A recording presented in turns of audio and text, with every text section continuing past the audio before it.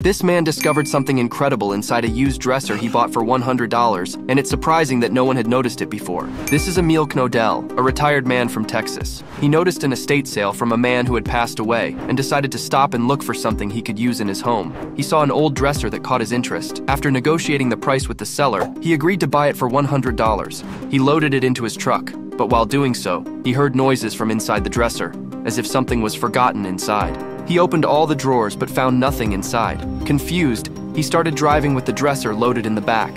However, every time he braked or made a turn, he heard a noise like something was sliding inside the drawers. He stopped and decided to do a deeper inspection of the dresser. He noticed something that looked like a hidden door inside the bottom drawer. After figuring out how to open it, he found old gold and silver coins and jewelry with diamonds. However, when he discovered Civil War medals among the items, he decided to return everything to the family. Later, the owner informed him that the items were worth more than $15,000.